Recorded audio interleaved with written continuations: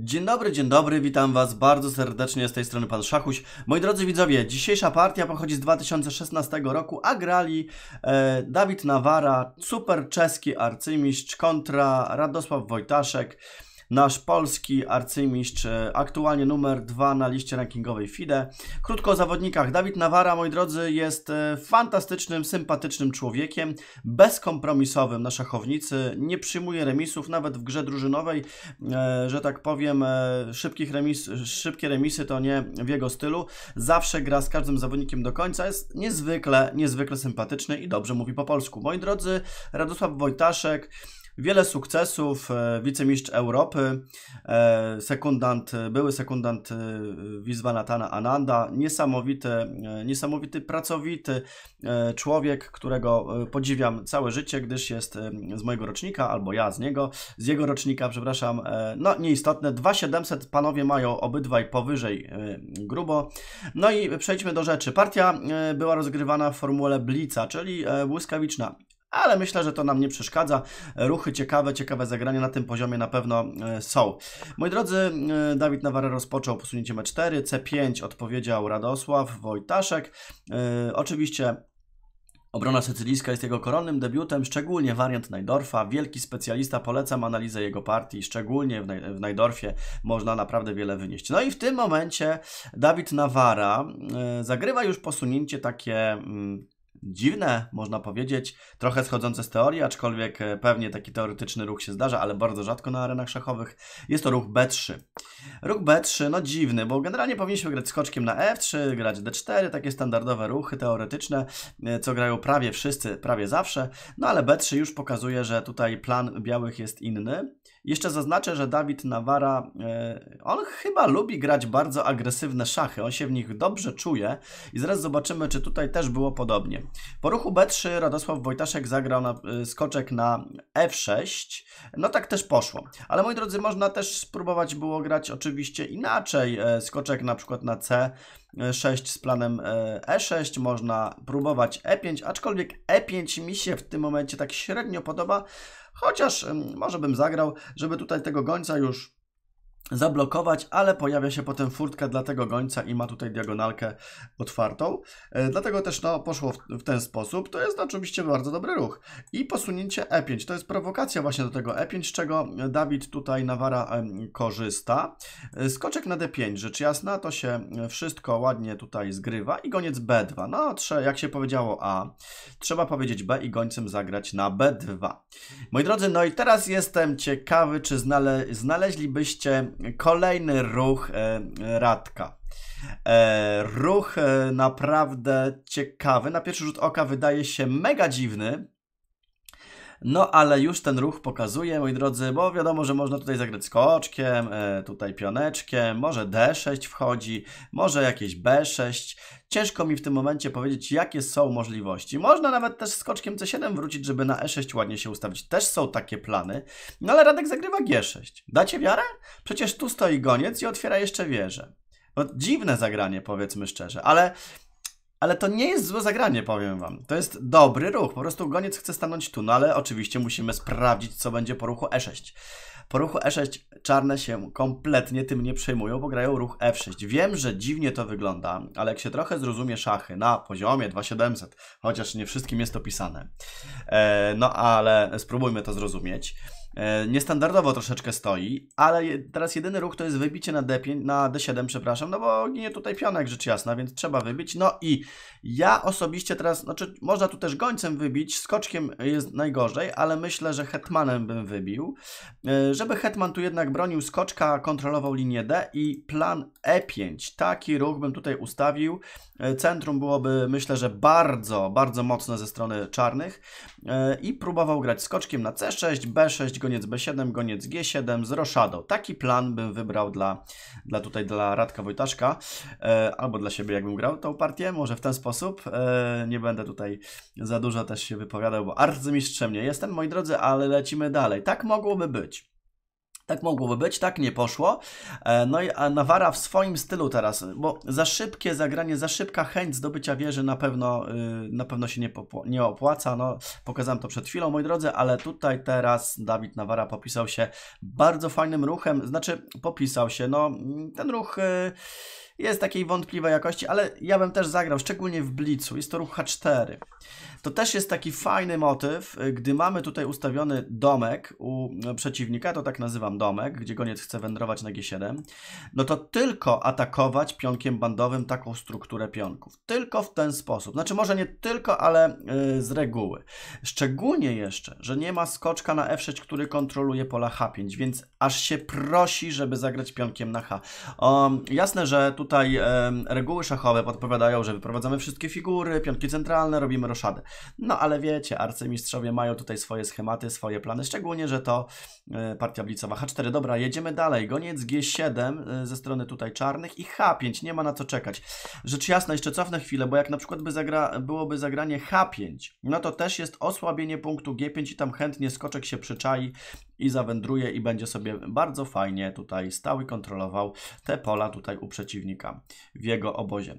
E, no i tak, poszło goniec G7, poszło H5 ze strony białych i skoczek C6. To też, słuchajcie, dobrą reakcją na coś takiego czasem jest brak reakcji i to teraz ma słuszność, bo Wybicie jest fatalne, bo się psuje tutaj nam struktura. Hetman zawsze może wjechać, również wieża. Nawet nie trzeba bić, może skoczka wyprowadzić. Pionek nam na H5 nie ucieknie, jeżeli oczywiście będzie bicie. No tak nie poszło. Skoczek C6 twardo atakuje tutaj pionka. Zauważcie, trzy figury u czarnych są wyprowadzone. Roszada jest w gotowości, więc tutaj wydaje mi się, że czarne mają dobrą pozycję i nie mylimy się. Czarne tu są na razie w debiucie lepsze.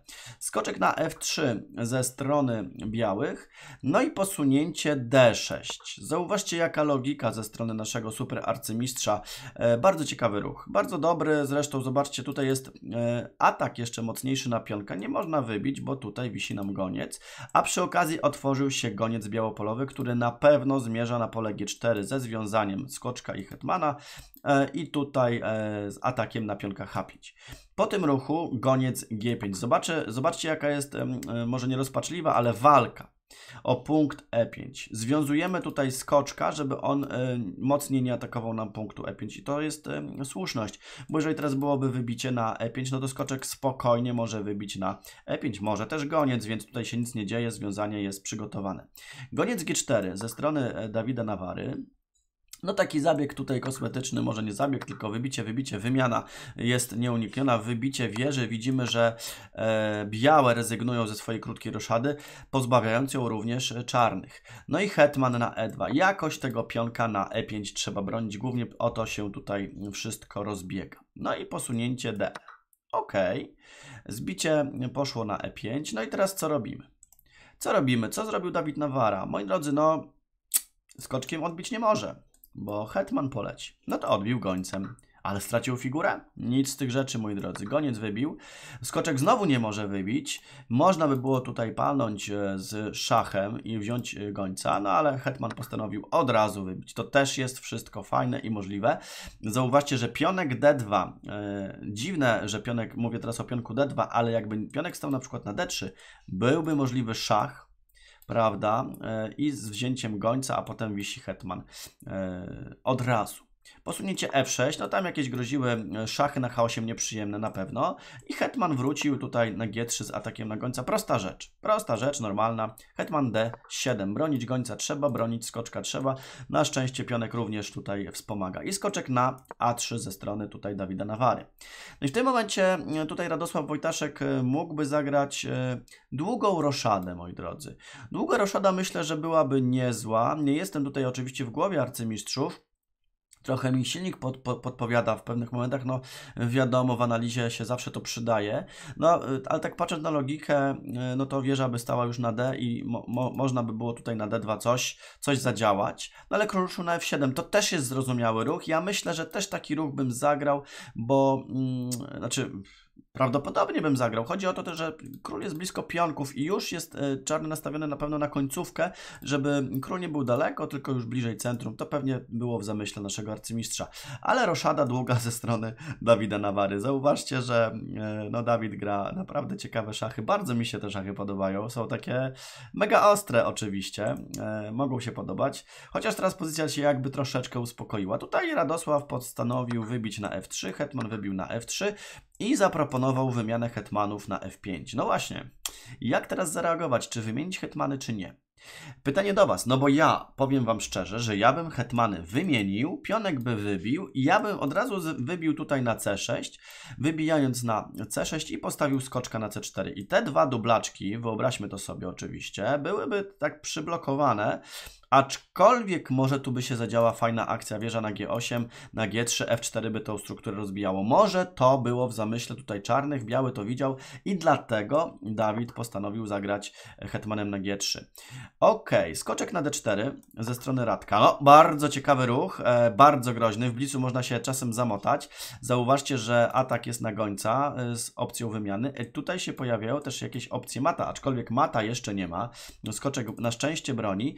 I też pojawiają się też, y, też, też, też pojawiają się czasem sytuacje, gdzie skoczek wędruje na E2 z atakiem na króla i hetmana y, z widełkami. Tak po prostu. Jeszcze na szczęście to się wszystko broni. Goniec na D3. E, no, atak prosty. No, ale teraz tutaj Wojtaszek e, postanowił zagrać skoczek na F4, oddając hetmana. Niektórzy łapią się za głowę, o co tutaj chodzi. Nie, nic złego, moi drodzy, nic złego tu się nie dzieje, e, ponieważ wybił hetmana tutaj na F5, skoczek z F dał szacha wtrąconego, król nie ma wyjścia, jak na przykład na B2, no i skoczek wybił na G3. Widzimy, że tu wisi figura i tu wisi figura. No i teraz tak, oczywiście oczywiście bicie tutaj na G6 e, z tempem. Król musi wybić i wybijamy, zdobywamy białymi pionka, ale ten pionek nie ma takiego wielkiego znaczenia, gdy te pionki są zdwojone. E, łatwo wjechać wieżą na przykład na H8 lub na G8, planować i te pionki wybijać po kolei, więc e, obrona tych pionków G3 i H, G2 byłaby myślę, że trudna.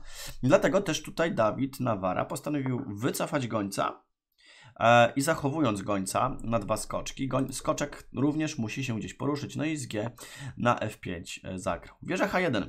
Tam, gdzie wolna linia, tam wieża zmierza. Łe, tak wieża nie chodzi. Wieża y, na wolną linię ciach, król G7, pewnie opcja jakaś tutaj wieży na wymianę, skoczek na C4, no gdzieś skoczka w końcu aktywnie trzeba ustawić na bandzie, chyba nie czułby się najlepiej. Pozycja jest, słuchajcie, około równości. Około równości, chociaż białymi myślę, że się gra ciutkę przyjemniej, a zawsze jest kwestia oczywiście gustu. E, pionki są nie tak daleko e, wysunięte, więc mają jeszcze dużo pola do popisu. Posunięcie ze strony czarnych, skoczek D6. No właśnie, Skoczek D6 e, to nie był chyba najlepszy, najlepszy ruch. E, bo tutaj e, po kilku posunięciach e, robi się niezła przewaga dla białych. Już pokazuję jak. I tak też w partii nastąpiło. Mianowicie szybka kalkulacja, wymiana skoczków, czyli widzimy, że już mamy po wieży i lekkiej figurce. Tutaj goniec myślę, że będzie się czuł trochę lepiej. I goniec od razu to wykorzystuje, zagrywa na E4, chce po prostu wziąć piona. W dosyć symetrycznej pozycji struktury pionkowej mm, każdy zdobyty pionek jest na wagę złota, moi drodzy. Wieża wieża B8. No obrona pasywna raczej nieunikniona. E, można by było pewnie też próbować zagrać skoczek na C6. To pewnie byłaby też jakaś tam fajna opcja.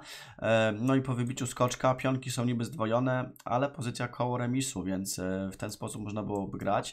Niestety tutaj Radek zagrał wieżę B8, trochę stracił tempo. I goniec D5 ustawił się bardzo aktywnie goniec, przestrzał na diagonali, kontrola cały czas punktu B7. No i skoczek za bardzo na powroty nie ma opcji, chociaż na C6 jeszcze może, tak? Na E6 nie bardzo. F5 ze strony tutaj czarnych, wieża E1. No i właśnie robią się problemy, moi drodzy. Wieża zmierza na pole E7. Widzimy też, że jeżeli król by zechciał na F6 ruszyć lub na F8, no to zawsze wypędzamy tutaj skoczka. Skoczek ucieka na C6 i albo wjeżdżamy na E6 po ruchu y, królem na F6, również wjeżdżamy na E6 po ruchu król F8 i atakujemy dwa pionki, więc tutaj robi się już niebezpiecznie. Dlatego Radosław Wojtaszek postanowił zagrać od razu skoczek na C6. Wybitka ze strony białych. To jest sprawa oczywista, dlatego że jest wieża E7. Tam, gdzie wieża aktywnie wchodzi do obozu przeciwnika, trzeba z tego skorzystać. Prezenty są mile widziane. Szach, król F6, no i czyste wzięcie pionka. Zauważcie, ten pionek będzie tutaj maszerował, on będzie tutaj groźny. No ale co grać teraz ze strony czarnych? Bardzo ciężko powiedzieć, e, nie zazdroszczę tej pozycji dla czarnych. Wieża E8 ze strony Radka, no i A4. Czmycha pionek jak najszybciej, ale wieża stara się grać aktywnie. Wieża E2. E, zostawia na razie tam tego pionka, pionek ucieka, ale tutaj chyba plan jest zbicia tych pionków nie na D2, tylko oczywiście tych pionków, które dają możliwość e, następnym pionom e, przejść do przemiany e, i zamienić się na przykład na hetmana, prawda? No A5 ze strony tutaj białych, wieża zbiła na F2, A6. W ogóle Dawid Nawara idzie jak burza tym pionem, wieża biła na G2. No i moi drodzy, no wieża B7. Wieża B7, tutaj pionek już maszeruje do przemiany. W tym momencie niestety nasz e, polski arcymistrz musiał złożyć broń, e, poddał partię. A sprawa jest prosta, dlatego że jak na przykład e, wieża by wróciła, pionek idzie na A7, pole przemiany już o jedno, jedna kratka została do pola przemiany, wieża E8, wieża B8 i po zabawie tutaj w następnym ruchu jak wymiana to wymiana z hetmanem albo doprowadzamy do Hetmana. Także no, partia blicowa, więc przypuszczam, że tych sekund było niewiele u przeciwników i dlatego y, też takie błędy tutaj wystąpiły pewnie w tej końcówce. E, bardzo ciekawa partia, zresztą jest ich bardzo mnóstwo, moi drodzy. Piszcie w komentarzach, jaką partię byście chcieli zobaczyć, albo podsyłajcie konkretnie link.